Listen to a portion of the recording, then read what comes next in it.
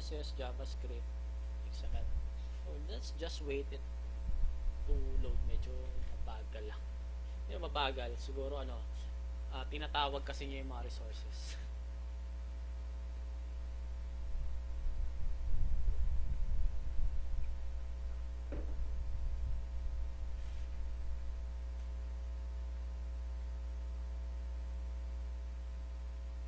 Oh, it's already 7 siguro. We just um, end it mga 7.30 para dun sa meron pa kasi tayong a few parts na hindi pa na-discuss. Pero ako, end it siguro. Uh, kahit abutin tayo ng 8. So, maswerte ka Judy kasi uh, dito ka. No? I believe taga Cavite ka lang, right? Kapsu?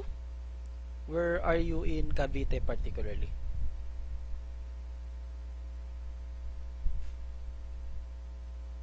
I'll just post it na lang siguro. Bibigay ko yung link sa chat mamaya. I'll just send you a message. Private message. If you search for ano, animated HTML5s, ay, Bacoor, lapit mo na pala. Imus lang ako eh.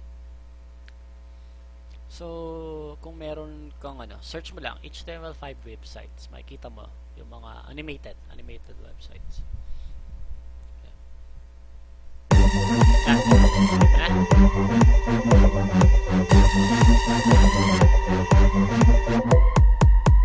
Music.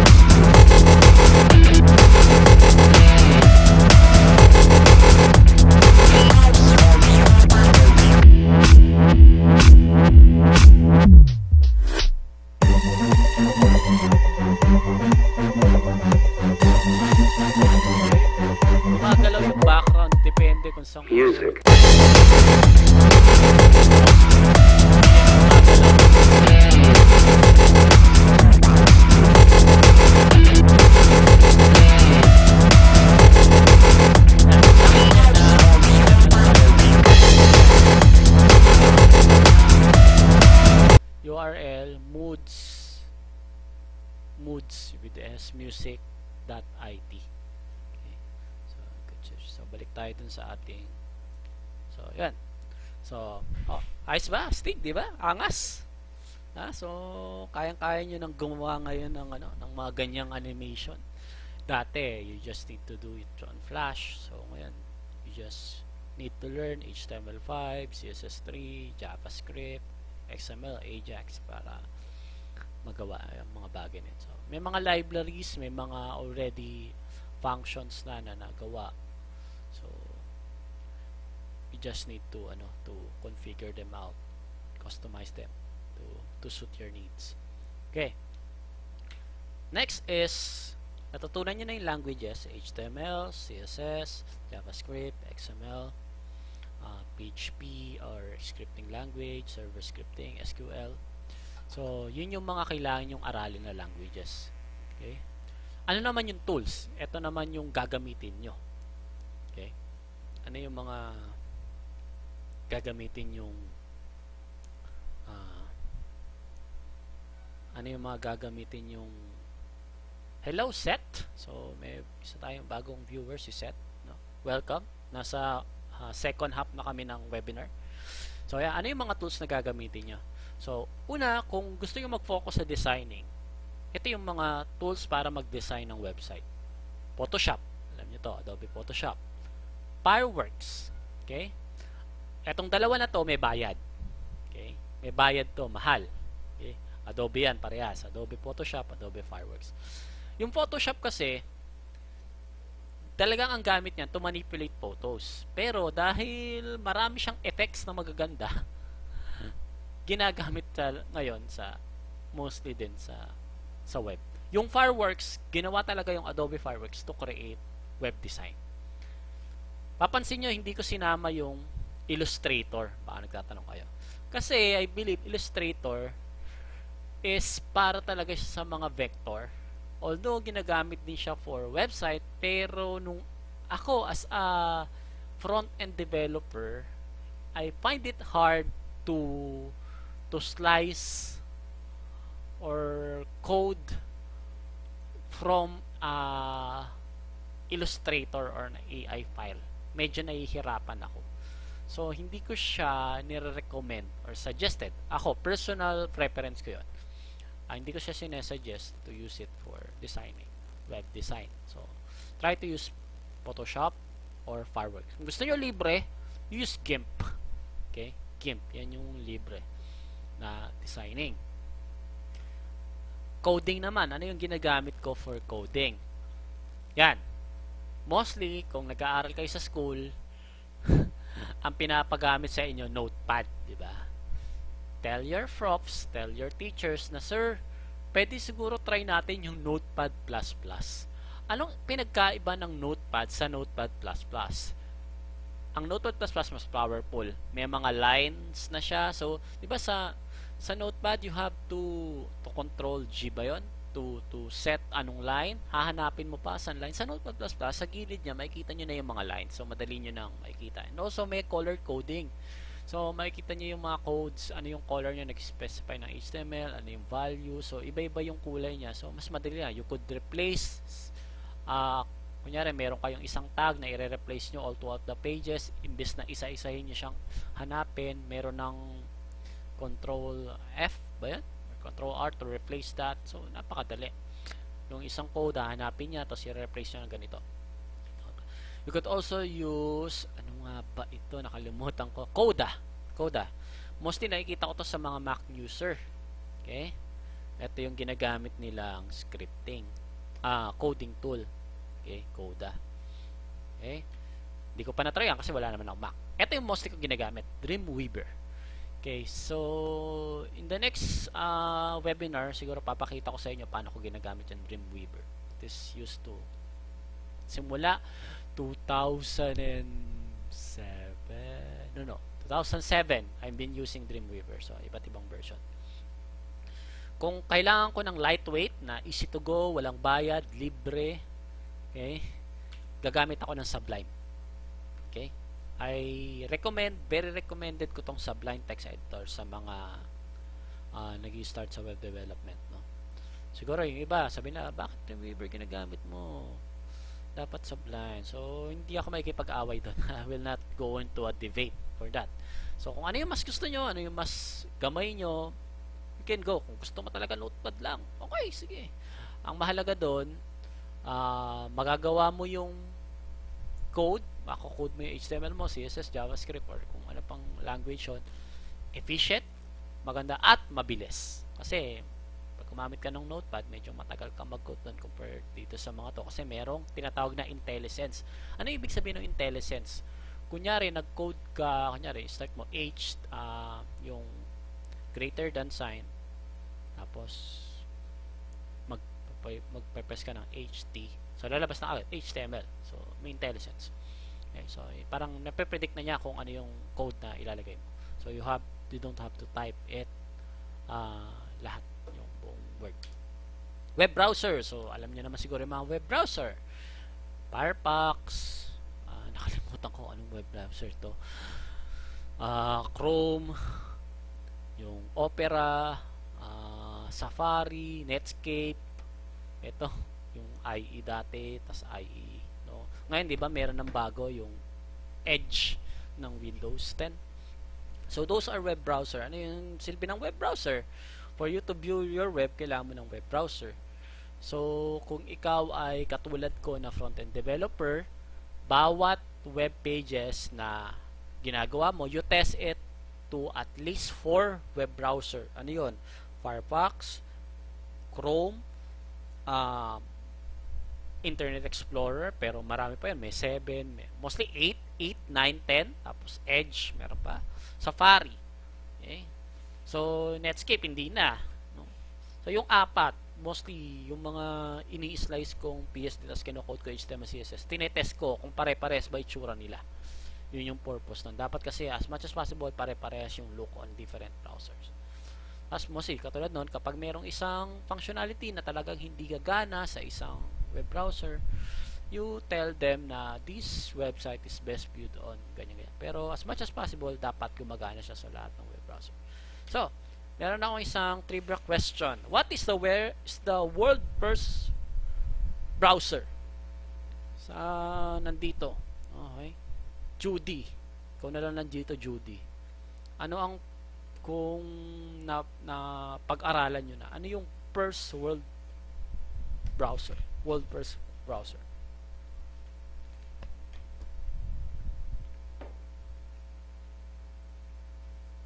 Sige, Judy, without searching the Google. without Googling it.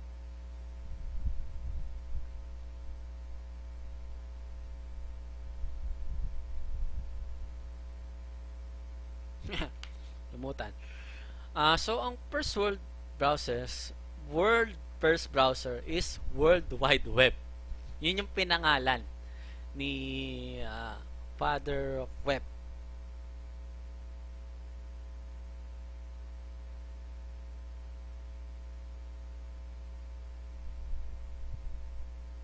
Yun yung pinangalan ni Tim Berners-Lee. Siya yung uh, prime uh, uh, inventor ng World Wide Web. So, syempre, yung unang-una niyang ginamit na World first browser, ito yon. So, pinangalan na niyang World Wide Web. So, ito yung first uh, web browser. Kaya itsura niya. So, 'di ba? Na para siya yung lumang lumang software from Windows 95, parang ganun. So, ito yung kauna-unahang web browser na ginamit ni Sir Tim Berners-Lee the man considered as the father of the web. Sorry. Sorry. Uh, let's go back. Ayan. So, ano naman yung web server packages? Uh, if you were coding on your own, sa iyong PC, sa iyong laptop, gagamit ka ng web server. So, kung ayaw mo namang gumastos para bumili ng hosting na may kasamang server, you want to build a website locally, gagamit ka ng web server. Example niyan yan. Uh, LAMP, yung MAMP at yung XAMP. Ano ibig sabihin nun? Mostly, ang na, makikita mo dyan, Apache, which is the web server na mostly ginagamit pag PHP. Apache, uh, PHP, MySQL, or SQL, or MySQL, uh, MS SQL, or yung Perl. So, dahil ako PHP developer ako, so yung mga web server package na ginagamit ko, more on Apache and and PHP and MySQL. Pero may mga iba-iba pang word, web server package, depende kung ano yung gagamitin mo scripting language, server scripting language. So, nasa you could check the web for that. Others, although isa lang siya, FileZilla. Ano yung FileZilla? Yung FileZilla, ginagamit ito for you to upload and download files papunta sa iyong hosting. Kunyari, hindi ka na naka-web server. You have a website na naka-host sa isang hosting site. No? So, yung server noon, yung IP, yung FTP login, lalagay mo sa FileZilla. Siya yung nag uh, parang gato, pakita ko sa inyo itsura ng FileZilla. This is FileZilla. So ayan, nakikita niyo doon yung mga site manager, ayan yung mga oh makikita. Oops, ayan yung mga uh, website na minamanage ko. So, bawat isa, kunyari, I'll click this. So, kukonect tayo sa isang yan, nakita nyo dito yung mga files. So, dito yung mga files nila. So, ito, kaya may WP yan kasi WordPress. So, nandito yung mga files. So, ina-upload mo siya. Pwede mong dalhin from here to here or here to here. Pwede mo in-download, pwede mong i-upload. So, ito yung ginagamit mo. Okay. So, that's it. So, balik tayo sa uy, skip. Wala tayo. Okay. So, so yun. FileZilla. Also, domain and hosting. Bakit mo kailangan ng domain hosting? Domain, ito yung address ng website. Kunyari, example, ang website mo, yan, Google. Google.com. Yun yung domain. So, kunyari, uh, example, 101geek.ph. Oh, so, yun yung domain mo. May extension lang. Specified yung extension ng country. Marami. May .net, may ano. So, ang price ng isang .com domain, nag, uh, nagre-range siya from 600 600 pesos. Kung meron kang coupon, mas mababa. Mostly 600 pesos. Pag .com, pag .ph, mas mahal. 1,000 plus, I think. Kasi may specification na siya. Kapag .edu.ph, kasi dati may ginawa kaming uh, uh, school website. So, iba pa yung presyo nun at meron pang ibang uh, application. Pero, i-apply mo pa yon pero yun yung mostly price. Pag .com domain lang, so punta ka kunyari example, uh, HostGator, Namecheap. I don't recommend GoDaddy. Yun lang, hindi ko nire-recommend yung GoDaddy. yung isang gina, uh, madalas kong gamitin uh, na partner namin na hosting provider yung web.com.ph Also, hosting yan. Kung nag-host ka, kung shared hosting, pag shared hosting, kunyari, nasa isang parang, example, na isang, nasa isang bahay kayo, meron kayong sarili-sarili lang kwarto. Pero isang bahay lang. So, isang server lang. Kapag VPN or virtual private server o sarili mong server, yun, mas mahal yun. For example, yung hosting, pinakamurang hosting, nagre-range siya ng uh, I think, nasa 1,000 above din Kapag annually yon annually mo binabayan, yearly. Kapag naman yan, VPN, Virtual Private Server, BPS pala, sorry. BPS, Virtual Private Server. Merong pinakamura akong ginagamit yung 2,500 per month.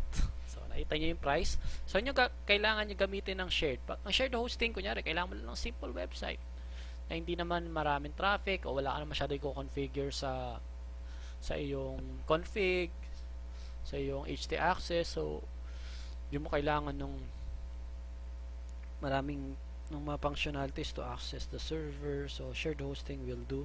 But kung kailangan mo ng mas matinding traffic kung may con total control with your server na sarili mo lang uh, you go for the BPS okay.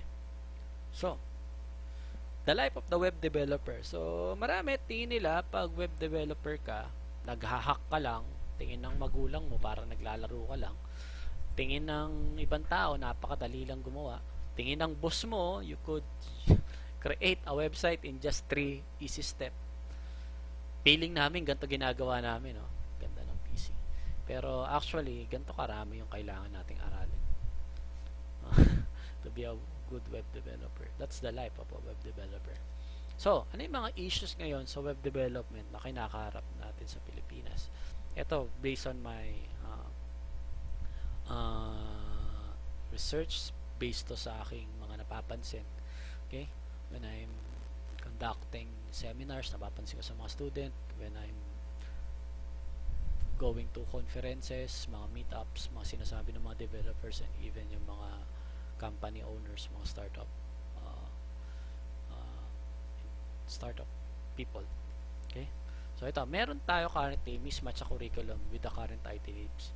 Marami sinasabi, old school pa rin yung tinuturo. Yun nga, maraming, maraming languages na hindi na ginagamit totally talaga.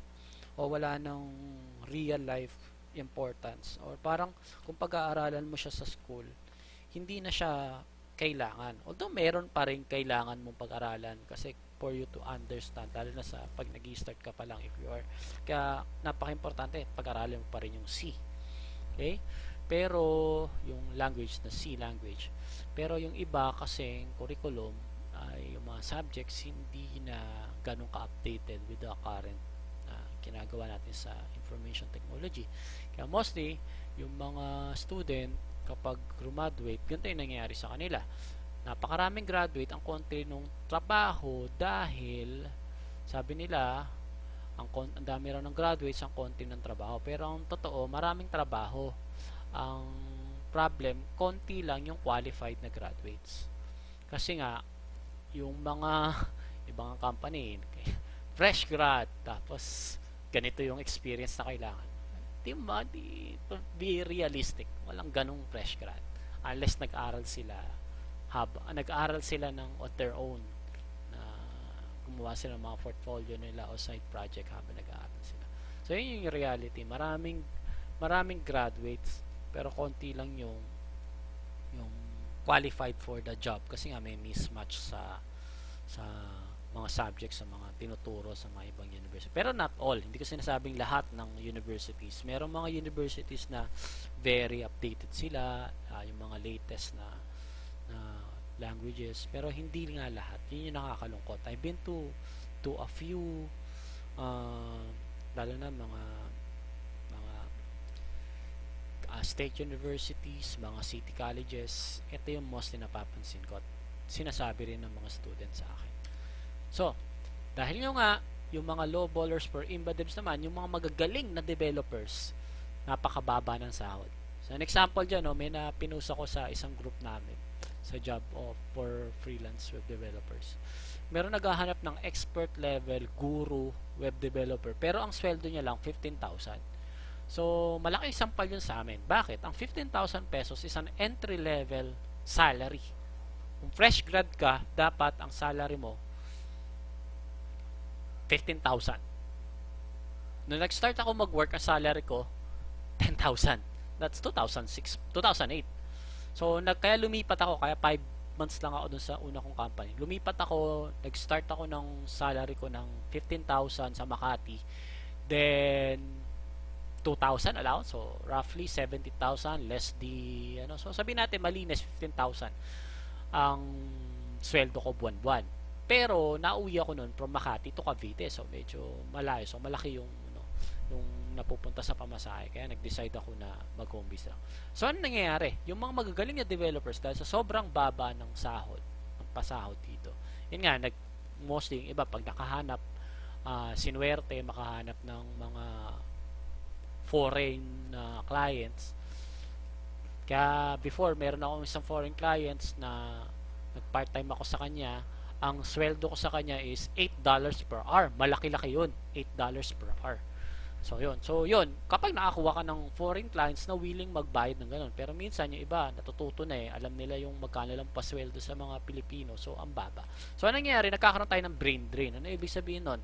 Yung mga magagaling na developers dito sa Pilipinas, umaalis, pumupunta sa ibang bansa. Ang pinakamalapit nila pinupuntahan, yung nasa picture. Ito yung picture ng Singapore. Mostly yan. Binala ko rin before pumunta ng Singapore. Kasi, dati, nung nag, matagal na yun eh. dati nga eh. Nag konting research research aral-aral. Kung papasweldoin ka ng 90,000 converted to peso ah 90,000 ah.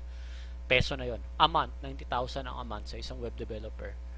Ang cost of living mo is pwedeng 20,000 lang malaki di ba 20,000 cost of living per month pero take home mo naman yung 40,000 something like that So, matagal na yon pero hindi ko lang alam kung magkano ngayon ang ang take home kung nagtatrabaho sa Singapore. So, yun yung nangyayari. Yung mga baba, yung mga magaling developer pumunta sa ibang bansa. Okay? Kasi malaki ang pasahod sa kanila compared dito sa Pilipinas. So, sabi ni Sir Isaac Asimov, yung author ng Three Laws of Robotics, sabi niya, educate, self-education is, I firmly believe, the only kind of education there is. Nag maraming pumapasok sa sa university, sa mga colleges, sa mga training institution na natututo. Hindi naman lahat hindi. No? Maraming natututo. Pero, nasa iyo pa rin kahit na ino-offer ng iyong school, ng iyong teachers, ng iyong professor, yung mga magagandang uh, technologies or current technologies, kung hindi mo pa rin pag-aaralan, hindi mo rin isa sa puso na pag-aralan ng maigi, so, masasayang. So, I'm an advocate na even though nag-aaral ka sa school, you have to educate yourself. Napakaraming available na tutorials, gaya ng ginagawa ko ngayon. This is free. No? Papanoorin nyo lang, sasubaybayan nyo lang weekly, so marami kayong matutunan. We can also meet, set up meetup, so pwede ko kayong hands-on, one-on-one na, na training. Okay? So marami. Punta kang W3 schools, although uh, pardon me, maraming maraming magre-refute sa akin dito. Bakit double three schools? Ganyan-ganyan. Hindi yan web standard. But to tell you the truth, natutuwa ko dyan. If you're starting, ah, sa'yo, sabi nila, wag yung pag-aralan W3 schools kasi yung ibang coding standard dyan. Hindi coding standard, hindi web standard. Uh, yeah, I believe meron mga ibang tinuturo sila doon na hindi coding standard at hindi sila recognized ng W3C Consortium. So, ginamit lang nila yung name W3 schools. Pero marami ako natutunan dito. Yeah, marami ako natutunan dito. So, nasa inyo. Also, Code Academy. Yan. Meron pa, CAD, Khan Academy. So, may mga online uh, courses sila for codings, web development, and programming. YouTube, yan. YouTube, napakaraming video sa YouTube, paano mo gagawin to, paano mo gagawin yan. So, nasa iyo na lang talaga kung paano ko matututo eh. Okay? Also, Google, yan. Google mo lang. Kapag meron kang di alam, alam mo, ako ang ginagawa ko. Kapag meron akong isang pla, uh, kanya, pinap WordPress, WordPress program, merong gustong pagawa yung kliyente, hindi ko maano ko, may error na kailangan ko i-fix. Una-una kong gagawin, isi-search ko yung particular error na yon sa Google. At most most of the time, nandun o may na, meron ng nakaranas ng same problem ko o may meron ng gumawa nung bala kong gawin. So yun, I'll just check paano gagamitin, paano gagawin ko. Then andun yung resources. YouTube, Google. Yan. Matuto tayo mag-search. No? So, marami tayong matutunan. Okay. Sabi nga nila, tamad na lang ang ayaw matuto. Okay. So, groups. Maraming grupo dito sa Pilipinas locally for you to join I believe in the next month yata merong ano, Youth for IT. No? Sayang hindi ako makakapunta kasi I have a schedule on that week eh. Nasa Sambuanga del Sambuanga ako so hindi ako makaka-attend. Gusto ko nga sana umattend doon. Youth for IT. I believe most student na punta doon and I strongly uh, encourage you to go there to to participate. Yan, Developers Connect, no? I been to DevCon, nakapag-volunteer na tayo dyan, naka-help na rin tayo dyan. WebGeek, yan. Uh, kina John Arset sa group na maraming mga geeks, who loves doing web. Okay? So, andyan. And Drupal Pilipinas, particularly in Drupal. Meron ding WordPress, okay? Meron ding WordPress. Hindi ko lang sila nasama dito. So, hindi ko pa rin kasi sila na-meet. Hindi pa ako nakapunta sa isang meetup nila. Sayang, meron silang meetup last Saturday kaso may schedule ako, hindi ako nakapunta. Okay? Conflict. I want to connect with them again also. Yan. Drupal Pilipinas, yung Drupal Philippines yan. Connected ako. Kina, sina, kundi ako. Uh, kalimutan ko lang yung name, pero sino ba yung head ngayon dito? Sina Jem. Kung hindi ako nagkakamali. Okay. And Pinoy Web Dev, ito yung isang web community na nagsimula sa Tipid PC, kung alam niyo yung tipidpc.com sabi ko, yung Pinoy Web Dev nagsimula sa kapisanan ng mga developers na gusto lang magtrabaho sa bahay. Mga home base. Karamihan naman ng mga nasa Pinoy Web Dev, mga home base to. So, yan, before nakapag-conduct na rin kami ng seminar. Kaso, medyo busy-busy din yung mga kasama ko dito. So, hindi na namin nasundan. Pero, you join the group, may Facebook group kami. So, beware lang kayo, marami lang mga job offers doon. Pero if you have questions, may mga people na willing to help you there. Doon. At uh, medyo marami-rami na rin tayong uh, kasama diyan ng mga web devs. Yan. So, ito yung a few helpful tips before we end, no? Ito yung last part na. So, we could end before 8. So, ang swerte ni Judy, no? natatapusin niya talaga. So, so y- sige, uh, naka, I believe, naka ano to eh, naka, naka-record. Oh, good, naka-record. So, you could, we could share sa YouTube, uh, sa YouTube or sa Facebook yung, yung link. So, people can watch it and follow the next webinar. And, always be informed. Kilala niyo si Christopher Lau, yung, yung nag, sumikat, nag-viral sa internet kasi yung kanyang kotse eh, pinalusong niya sa baha. So, ang isang ang isang line na tumatak, no? Yung I was not informed, no? Tapos yun nga lang, so sad na bully siya sa internet, no? Tapos although sumikat din siya kasi nagkaroon siya ng ano, ng ng tawag dito, nagkaroon siya ng commercial, no? Insurance com- company commercial always be informed yan. Know the latest IT news and trends. So, alamin nyo ano yung bago, ano yung mga web standard ngayon, so ano yung ginagamit ngayon. Isang isang tip, kung naghahanap kung kung ngayon estudyante kayo, tignan niyo yung mga job street, yan, mga job posting. Tignan niyo kung ano yung nire-require nila lalo sa fresh grad. Tignan niyo kung ano yung mga courses na na hinahanap ni ah, hindi courses, skills na hinahanap nila. Tapos pag-aralan nyo. Kunyari, ngayon, sa front end, very particular, very, madalas mo makikita yung angular.js. So, kailangan alanin mo yun. So, para pag nag-apply ka o marunong kahit a few basic of it, alam mo na, hindi ka na, may edge ka na kagad. Okay. Know the latest IT news and trends. Always be there. Ito yung sumikat na DPL, DPWH guys, yung kahit saan nandun sila. Sinisingil sila. So, yan. Participate in various IT seminars and training. Gaya nito, webinar. So, pwede kayong matin may mga a few free webinars na ginagawa, meetups, attend lang kayo ng attend. Kahit anong language yan, the more the merrier. Tapos kung meron isa, tingin nyo mas mag-fit kayo doon, mas mas gamay nyo yan, mas magiging uh, productive kayo doon. So, yun. Yan, sa Youth for IT, you join them. Tapos yung kay ano, kay I forgot, sa Power Tips. No? Uh, meron din si Sir, I just forgot the name, no? Yung isa sa mga sikat na nagkakandak ng, ng seminar uh, na madalas nakikita natin sa TV. So, yan. Uh, before yan, napaka-active ako dyan. Parang every week meron akong pinupuntahang meet-up. Ngayon, medyo uh, naglaylo lang kasi meron tayong ibang mga commitments. Okay? So, ayan. Part, practice does not make perfect. Madalas natin marinig. Practice makes perfect. Pero I believe na kahit na practice ka ng practice pero mali yung ginagawa mo, you will end up in a failure. Parang sa pagko-code, kahit code ka ng code pero mali yung ginagawa mo, error lang ng error yan. Kapag hindi perfect practice. Anong ibig sabihin ko nito? Kailangan alam mo yung standard. Alam mo yung dapat. Okay lang na magkamali ka in, in, in sa mga simula. Pero you you have a a know-how, alamin mo ano ba yung mga web standard na ginagawa. Kunyari, sa pagko-code ng CSS at HTML, pwede kang mag-code na sa sarili mo, pero pag chinek mo, binalidate mo sa sa W3C validator, although nagdi-display siya ng tama naman, okay naman yung pagka-display sa web sa, sa web sa web page, pero pag chinek ng W3C validator, mali, invalid, hindi standard coding. So, yun yung sinasabi ko.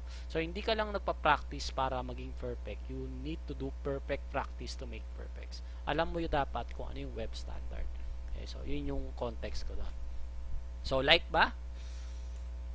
So, okay ba, Judy?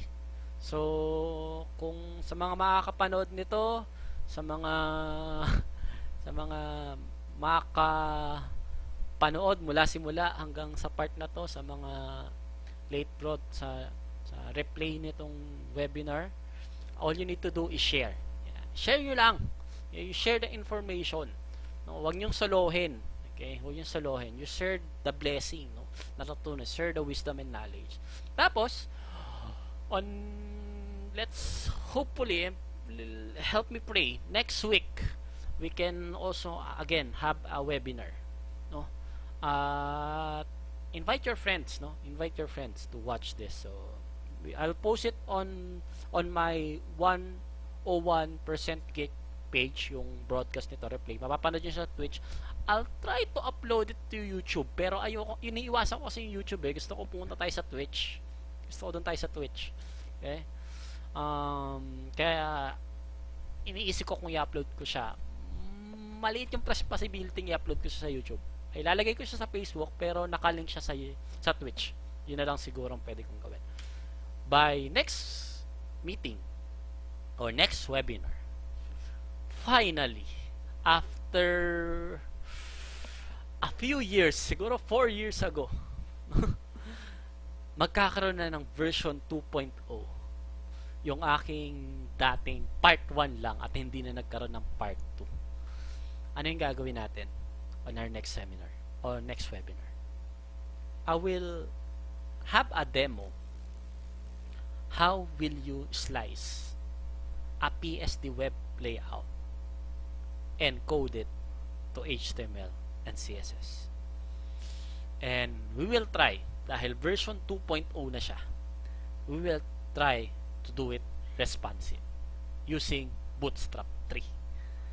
So, may mga few na tayo nagawa yun before. So, I'll just uh, recreate it para makita nyo kung paano ko siya ginagawa. So, we will do it online then we just uh, replay. So, okay ba yon?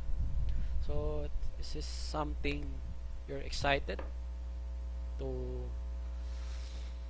to watch or subaybayan on next next week hopefully next week masundan so that's it so again um, this is Johan Sales from 101% Geek. So maraming salamat sa mga nagtyagang manood from start to finish lalo na kay Judy Montesa.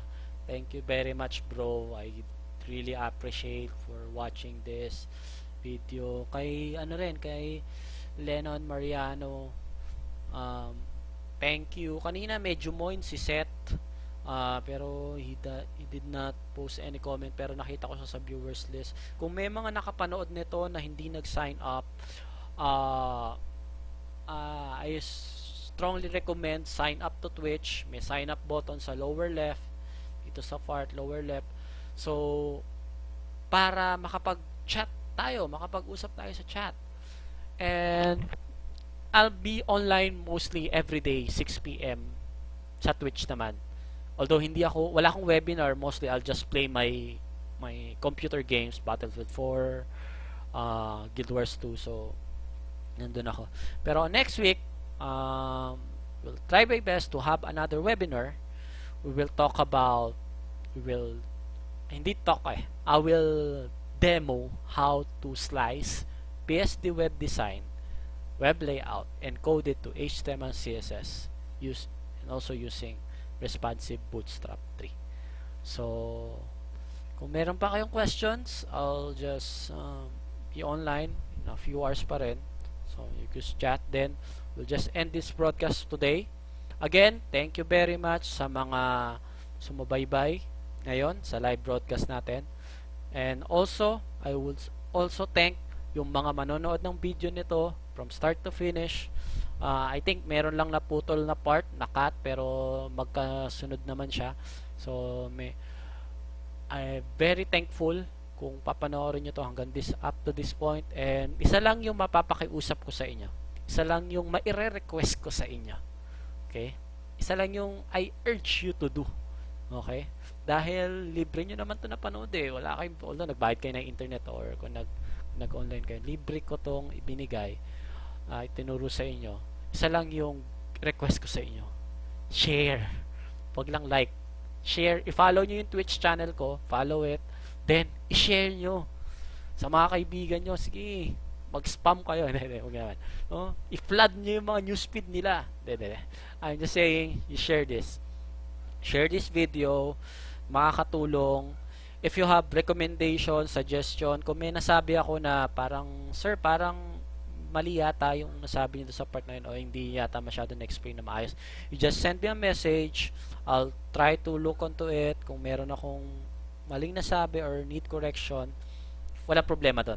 We'll just, uh, lahat tayo may room for improvement. So, if you have suggestion, uh, comments, uh, recommendations, just send it to me sa aking 101% Geek page sa aking uh, dito sa twitch.tv ko then hopefully we see you on our next broadcast sa ating live session sa webinar natin next week. So again, thank you very much for watching, for following, for signing up to twitch.tv. This is Johan Sales from 101% Geek signing off.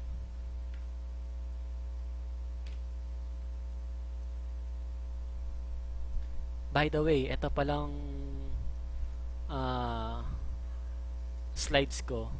This is an HTML5 slide. So, ito yung code. So, you just search for reveal master reveal.js slash masters para makita nyo kung paano gamitin yung HTML slides. So, so makikita nyo para siyang para siyang PowerPoint presentation. Nakikita nyo yung, yung time, yung kailangan nag-start, yung next. So, ganun siya. Okay. Thank you very much again.